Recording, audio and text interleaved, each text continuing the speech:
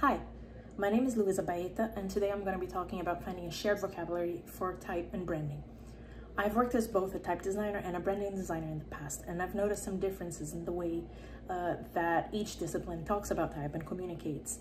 And I've also been speaking to a few branding designers and type designers over the past few weeks and collecting thoughts about some of the challenges that we might find uh, in this relationship. When a type designer or a type foundry releases a new project, um, very often they're talking about the client as the company that they made this project for. But very often what actually happens is that in between the type designer and the fi final client, there's a team of branding designers that makes the mediation between these two. So the relationship between the type designer and the branding team is crucial for the success of the project. So these are two design disciplines and they are both creative, but they work differently and they think differently. There is some overlap in the set of skills and in the way of thinking, but there's there are also a lot of differences and that can lead to communication challenges.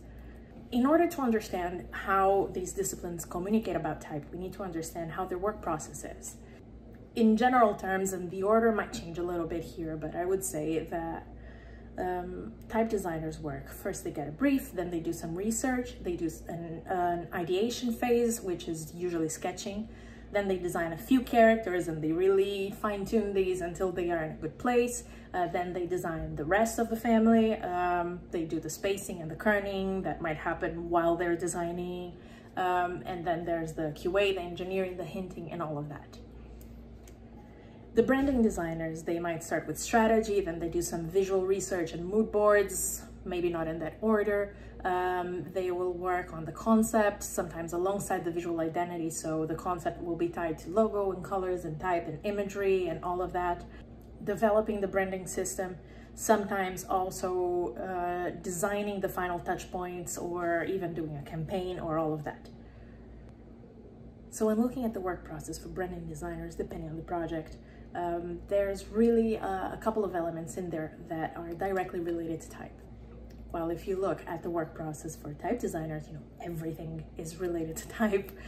So I just want us to keep this in mind as we move forward with this presentation, that for type designers, uh, type is the totality of the work and of the project, and they dive really deep on that. While for branding designers, this is a part of a bigger project. So how do these two disciplines actually talk about type? So I've been speaking to type designers and to branding designers over the past few weeks and writing down the kind of words that they use when talking about type. Um, so in general, type designers, um, they are more detailed when they talk about type and it's all very type, type specific. I'm calling it a little bit referential in the sense that when describing type, there's a lot of reference to other typefaces, to type design history, to type design theory. It's more technical, it's more visually subtle. It's usually more descriptive. On the other hand, some type designers do struggle to communicate conceptually. Branding designers, on the other hand, very often they look at type and they think of keywords and they think of narratives and they imbue narratives and emotions into the type. They think of type in terms of abstract concepts and they make external associations while visually and in terms of description, it's more obvious characteristics of the type. Um, there is a search for meaning that happens more often. Um, they can be more metaphoric and they do sometimes struggle with a knowledge gap. Here are some examples of some words that I gathered uh, about type designers when talking about type. Open counters, expansion contrast, neo-grotesque, short descenders, well, branding designers might say, you know, this is too serious, or this is very grown up, or this is spiky, or this is tasty. So they are different kinds of words that are used to describe the type. This is a generalization, of course, but this is a pattern that I noticed. Um, that doesn't mean that type designers are more objective and branding designers are more subjective because type designers can be very subjective too especially if you look uh, at reviews from Typographica, uh, type reviews written by type designers about typefaces.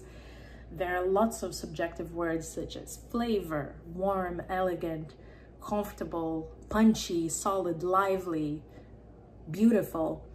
So It's not exactly about objectivity versus subjectivity, but there is an element of being more descriptive about the visual characteristics of the type uh, versus looking for the feeling that the type conveys.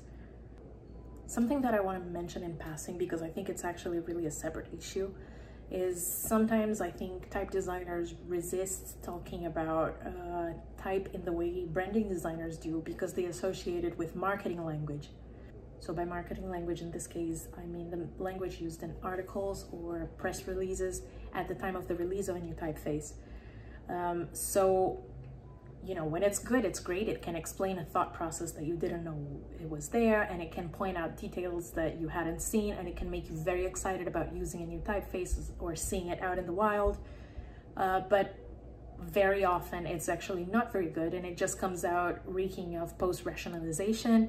It's often written by someone who is not involved in the process in any way. It's written by somebody from a marketing team that doesn't have anything to do with the branding team, much less the type design team that worked on it very often it's filled with cliches and this can be true also when type designers are releasing their own typefaces. So uh, I don't want to focus on the marketing language now because I think it's uh, it's a it's a separate issue. I'm really interested in discussing how type designers and branding designers can communicate better when they are working on the project rather than how they sell the typeface once it's out there. The reason why I bring it up is because I think marketing language carries a stigma within the type design community that can be associated and bleed into the way type designers think about branding designers. And I just want us to to not think about that. I, I want us to to know that there can be problems with marketing language, but we we are here working to communicate better with branding designers so that we can make a better project. So on a more practical level, I'd like to point out some common traps some words that have been known to cause issues in the communication between type designers and branding designers. So uh, one example that I have is color and texture. So when type designers talk about color and texture, they're usually talking about paragraphs. So is the color even? Is the texture, is it dense? Is it sparkly? You know, it's about the text in setting, in a paragraph setting. But when branding designers hear the words color and texture, they have a different meaning there. They mean color? Is it blue? Is it orange? Is it millennial pink? Uh, when they think about texture, they're thinking, is it like a grungy font with like some distressed look in it? They're not really thinking about paragraphs. So this is something that if a type designer is going to use these words when talking about the project, um, they should keep in mind that the, the normal understanding of the meaning of these words is very different. Um, the same thing goes for contrast. So contrast is a word that uh, branding designers or graphic designers might use in a different setting. Uh, but when type designers use it, they're talking about the difference between the thicks and the thins, and they're talking about the axis. And th these are concepts that are not necessarily clear for branding designers, and they should be clarified before moving on with the project. Other terms that can create problems are spacing and kerning, um, also tracking and leading branding designers use these terms, but they don't necessarily have a very clear understanding of, of what they mean and they sometimes misuse them a little bit or mix them up and that can create communication problems when giving feedback on typefaces. And finally, subjective terms can be really tricky. This is something that a lot of branding designers are guilty of. They will bring up a subjective term like modern and they, they, they want the type designer to understand this and it is very dependent on context. So that's something that can create uh, communication issues. So we talked about how these two disciplines talk about type differently, but the bigger issue is that they think about type differently, and that's what I'd like to talk about now. One of the differences, and this is something that we've touched upon briefly already, is what I'm calling the feeling of the type versus the architecture of the type. So branding designers, they are very often looking for the feeling of the type. They're looking for something that's rather elusive when talking about typography. They, it's part of their job to assign meaning to things and to create a story for that brand. Type designers very rarely approach a project in these terms. They are used to thinking of the structure of the type and that's usually devoid of meaning. Another difference is a difference in thinking of the structure of type versus thinking of the ornamentation of type.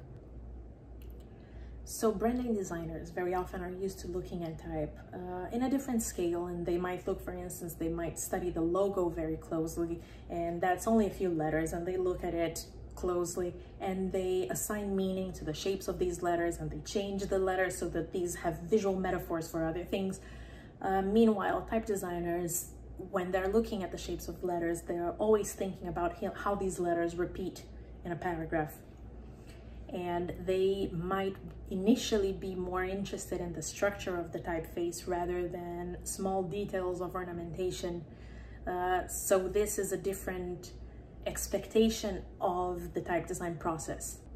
So one example, when I was working as a type designer, I once had a client who had a smile on their logo and because of that, they wanted to make the crossbar of the uppercase H be curvy like a smile. And from their perspective, that's putting an element of the brand into the typeface. From my perspective, this choice has consequences. And if you do that to the crossbar of the H, are you going to do the same to the crossbar of the A? What are you going to do with the other horizontal lines? What happens to the T?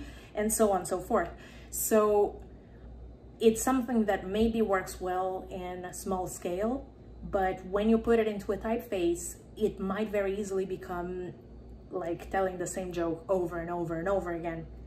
It is essentially a difference of thinking of the type forms in isolation as a branding designer might and thinking of the typeface as a system where every decision has consequences and ripple effects to other decisions that will happen there.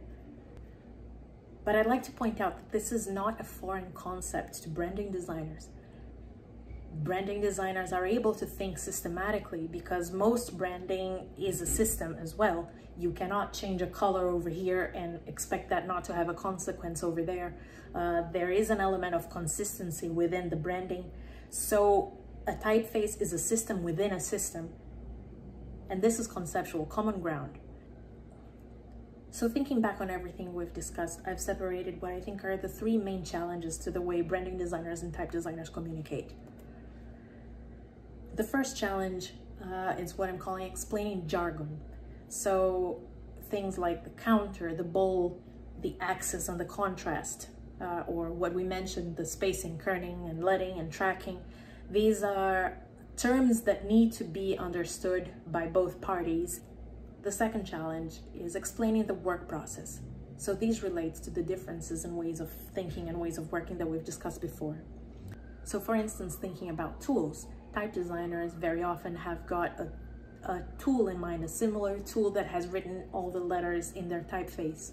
And this is a, a concept and a way of thinking that might not be familiar to many branding designers, but it's very key to, to understanding the decisions that are made for the typeface.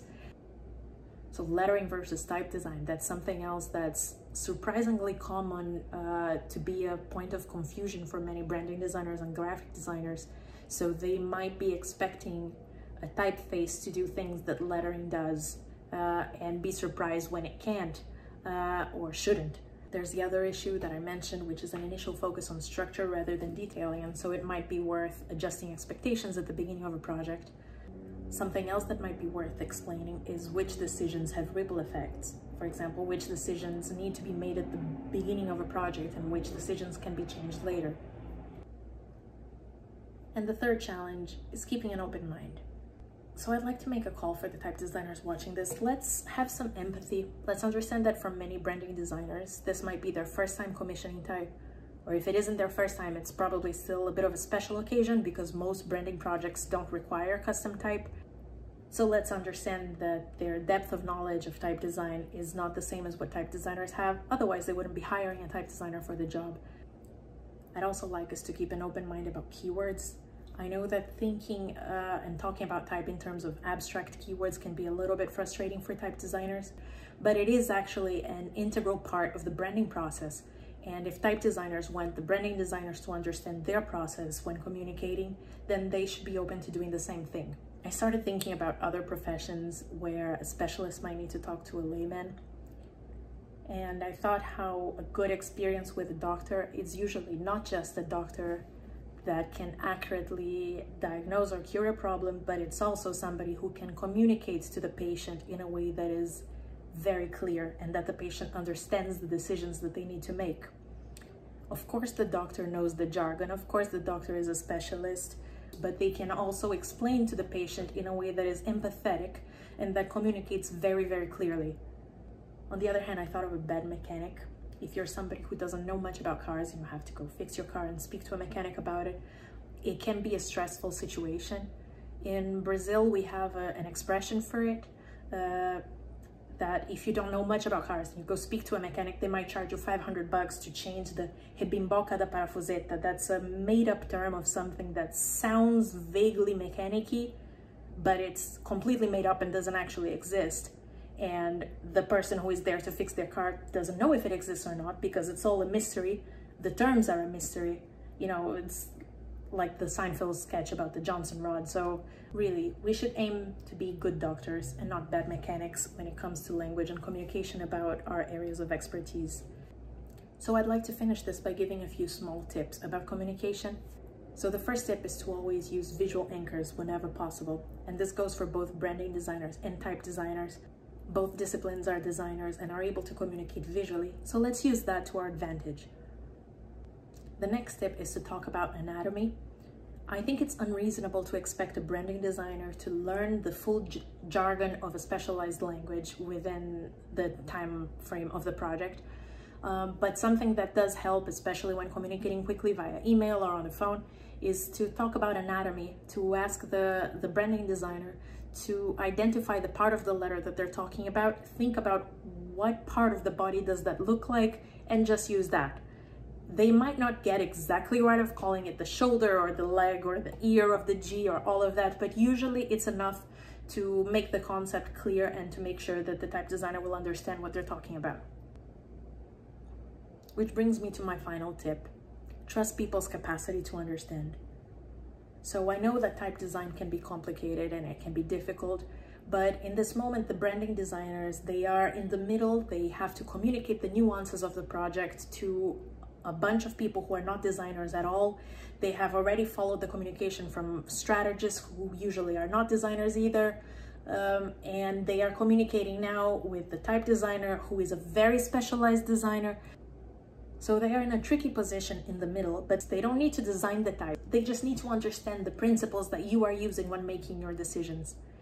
And this can help us have communication that has less friction and that is about everybody working together with the same goal. Thank you.